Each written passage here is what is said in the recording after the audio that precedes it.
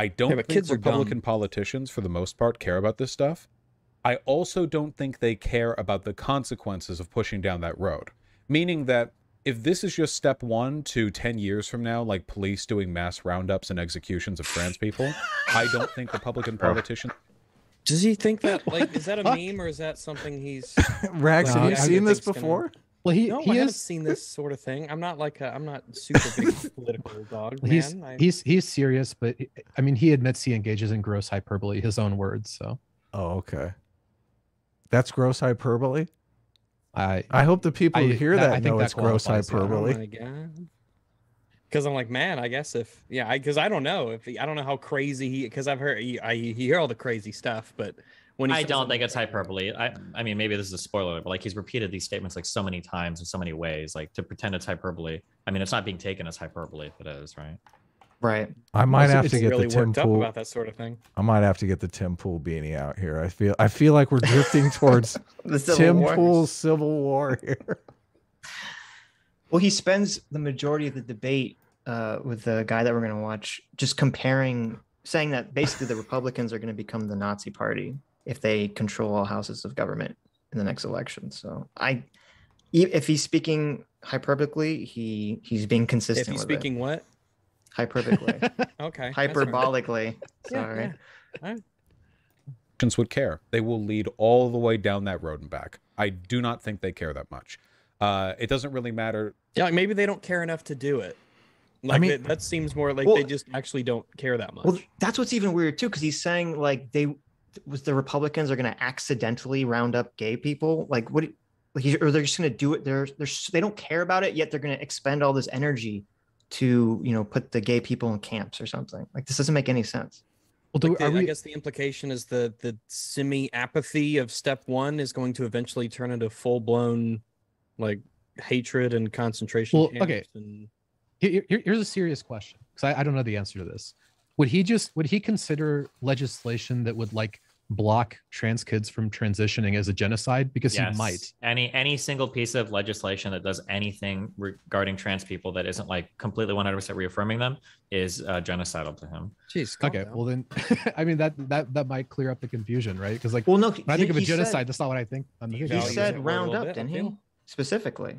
D- Wait. and executions of like trans people. I don't think for consequences of pushing down that road. Meaning that if this is just step one to 10 years from now, like police doing mass roundups and executions of trans people, Okay, so he says specifically mass roundups and executions. What this implies is that there are meetings of police officers and SWAT teams who are sitting in a meeting, and one of them has the big whiteboard, and he's telling him this is what a trans person looks like, and he cuts through all the slides. Yeah. This is how you can tell. We we got all the people with Picrew avatars from Twitter. We've got their Yes. addresses. Let's go get them. Well, and and Doomer, like to my knowledge, there's only one state that tried to enact what you're talking about. They tried to say no kids are allowed to transition. It was Texas, and Vaush never brings that example up, even though it would be his technically would be his strongest example. Though I guess it would also be undermined because a Texas state court blocked it on the grounds that it's probably going to be unconstitutional. So Well, that that's probably why he doesn't bring it up. yeah, I guess. But that so but that's the problem with this conversation. He never brings up the specific legislation he's talking about. That's like the one step away from enacting the LGBT genocide. I think right What- now the legislation they're bringing up is I think in Florida they're trying to remove trans people from the ability to do like Medicaid type stuff. Oh, okay. Is that Uh, I don't know if he knows that example or not, but yeah. I mean, it, it like it's a problem if you think that he's trying to make a persuasive argument to a neutral, and biased observer, but I don't think that's ever what he's trying to do, it's, not- really. it's preaching think he- to an extremist audience now. Yeah, exactly. yeah, sure, sure. Seems that way with this kind of genocide talk. You generally want to lead up to that.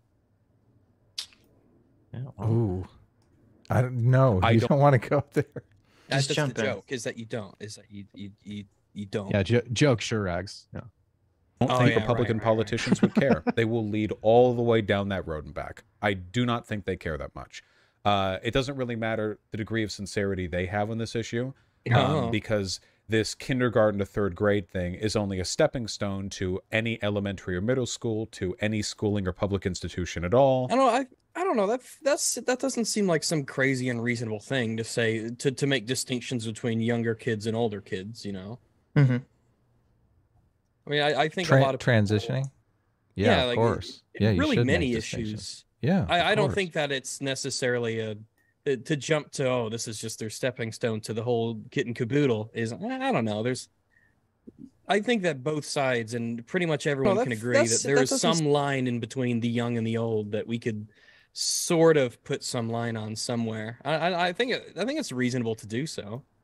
I think the only thing is that if we're talking about a line that should be put there, um, they, then the line should. I I feel like the line should just be decided medically. I don't like the idea of like state legislatures trying to figure this out. Like, why? Why not just leave it up to hospitals? Uh, like, it feels like a conversation to have between like a doctor, a patient, and then like a child if they're involved, and that should be Okay. it. But- hmm Do you, how do you feel though about there being sort of ideological capture around the therapeutic industry and the medical industry around trans issues? Like there really aren't unbiased doctors. The doctors that are in this space are really political actors.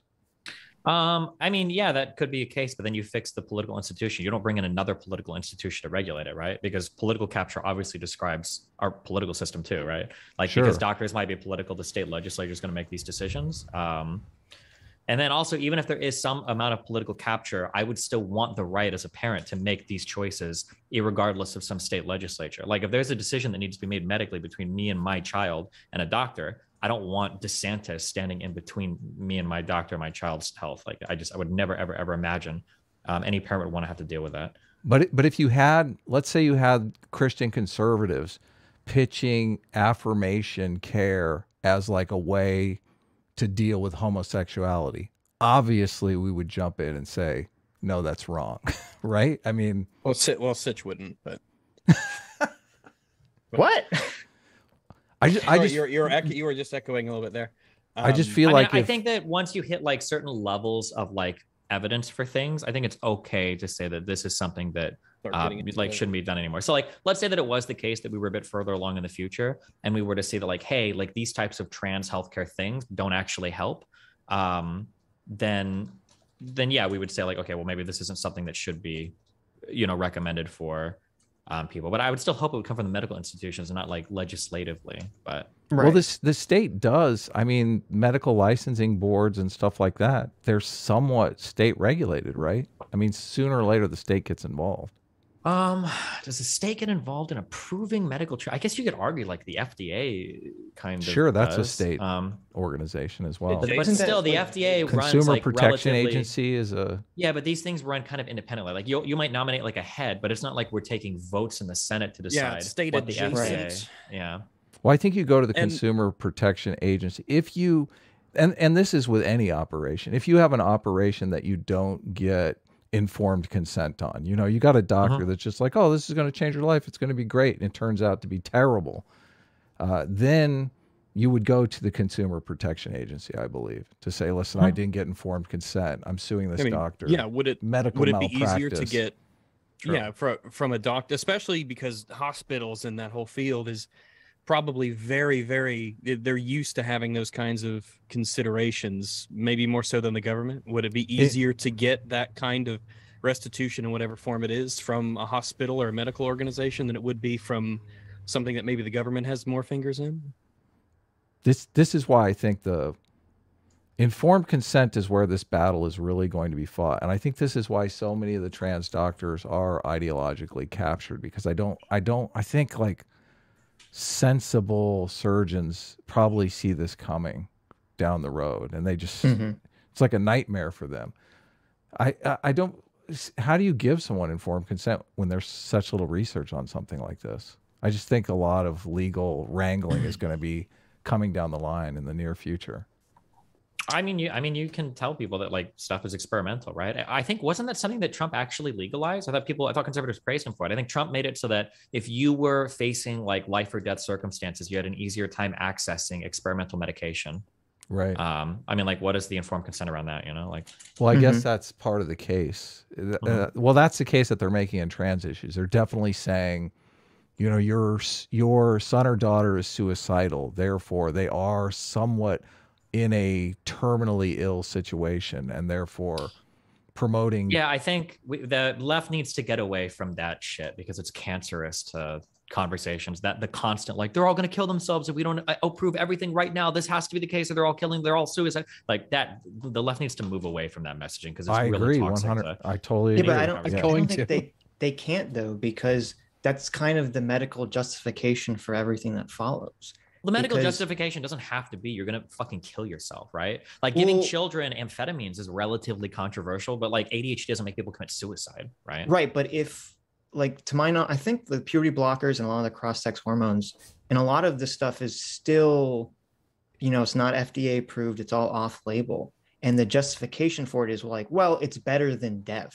And as long as that's the criteria, it makes it very easy for any of I mean, if stuff people- to you be You don't want medically. them to die, do you? if people are saying that i would disagree with that but it doesn't have to just be death there's a lot of other markers we can look at for like improved quality of life Sure. um, that are going to be important as well i think Yeah, no, I mean, I agree. It would be better if they moved away from it. I just, I Mhm. don't think they will because I think it, it serves too much. It, it benefits the medical conversation too much to justify what's kind of going on unquestioningly.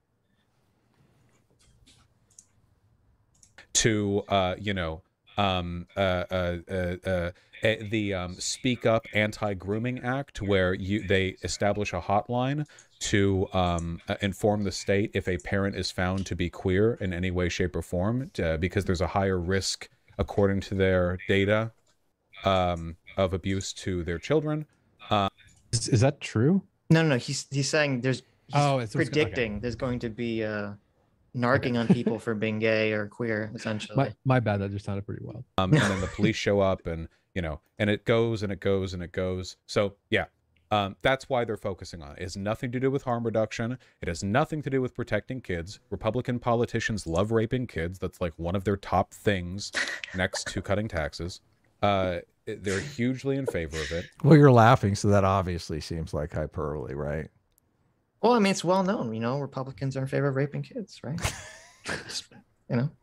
I, ju- I think it's funny that Vaush does everything in this video that he accuses Republicans of doing. Like he basically says all Republicans do is rape kids? scare. Well, isn't isn't Vaush the embodiment of it's okay when we do it? I guess so. I mean, yeah.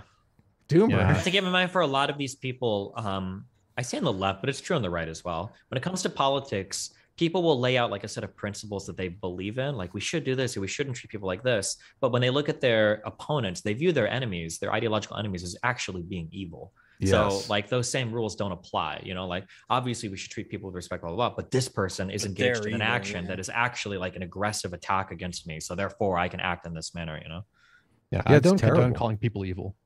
Right. No, but that's I mean that's the Doomer, classic, what are you, know, talking about? Unironically evil, maybe? Yeah, exactly. Guilty. uh, it is Special it's- that's just the, cases, the, the yeah Doomer is the author of the famously of the Vaush's unironically evil video. So that's why that's funny. I've, I've heard of that. Yeah, I've heard of that video. Yeah. Okay, so It's a great that was just so now we'll move on to the oh wait next- is that are you the doomer are you that doomer Yeah.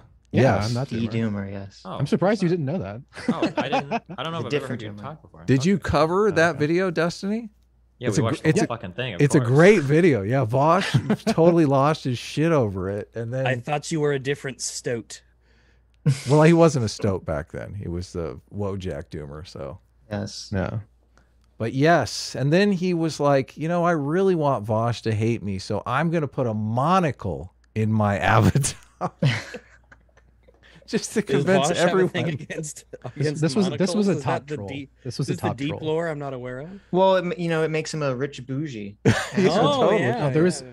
There, there was a bunch of cringe Twitter drama you don't need to get into, but everybody was calling me an elitist when I'm like a fucking 99th percentile economic left socdem. Yeah. Um, so I was like, fuck it, lean into it. Put a Miss- monocle you on missed my the, avatar. uh, you missed the opportunity to give yourself the you know the the big long Cruella de Vil cigarette holder thing. You need to have one of those to really go all the way. I only associate those with Cruella de Vil. I don't know what they're really called. C- CT, get on it. He would have to go with the 16 by 9 avatar. Yeah, it- you know her lighter is like a little dragon, right? They went they went full evil with her. I can I'll call Cruella de Vil evil. I I will I will take that lead. Wow, What I- very what- bold. What I meant was Vaush is definitely scaring his voters to the polls in the same way that they always accuse Republicans of. Republicans are just fear mongers. They just want to scare you to the polls. That's all they care about. All this manufactured outrage. When Vaush is basically saying here, they're going to round you all up and execute you. That's, Mhm. How is that any different? I mean, that's kind of that's like politics 101 these days, right? It's like everything is genocidal, everything is an existential threat, everything is on the verge of like killing and destroying everybody. Like that's just Yes, but I don't like that. you oh I know? Don't yeah, it's like really bad. It's bad. It's bad. Yeah. But How do you have a conversation with someone when they are basically accusing you of being a mass murderer before you even Well, you- talk You're to a them? demon. you can't hell, but that's that's the point that's the point is that you can't like it, it self-selects in people who are just uh, completely unwilling to have conversations with people Let's who label and with them. dismiss. You know, if we label them as a thing, we don't have to talk to them. We don't have to engage with them because we've already labeled and defined them as being this thing that can't be reasoned with and they're evil. Mhm.